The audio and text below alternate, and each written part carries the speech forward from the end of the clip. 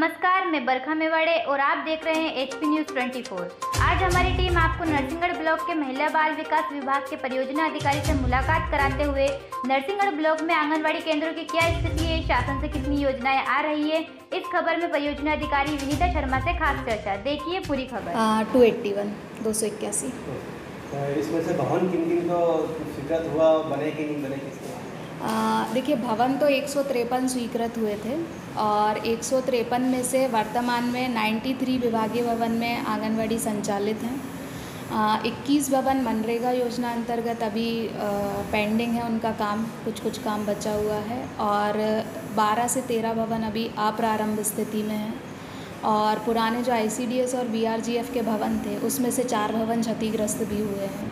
और कुछ भवन जो स्वीकृत हुए थे उनकी राशि भी वापस की गई है जनपद पंचायत द्वारा।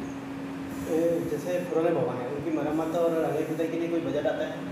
जी बजट परियोजना स्तर पे तो नहीं आता है। परियोजना से आ, मांग की जाती है कि आप अपने विभागीय भवनों के आ, नाम हमें प्रेषित करें। वरिष्ठ कार्यालय हमसे नाम माँगता है समय समय पर और हमारे द्वारा जानकारी दे दी जाती है कि कहाँ कहाँ आवश्यकता है।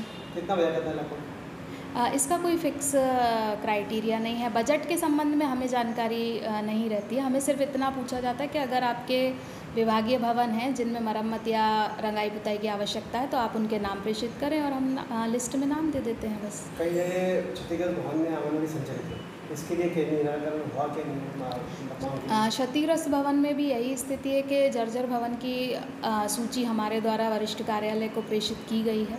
और अभी सैंक्शन तो नहीं आया है उनका मरम्मत का। जी। और जैसे कई जगह छुट्टी का तो लगाने के लिए दूसरी जगह किराए से लगा सकते तो उसके लिए किराया निर्धारित है क्या शासन से?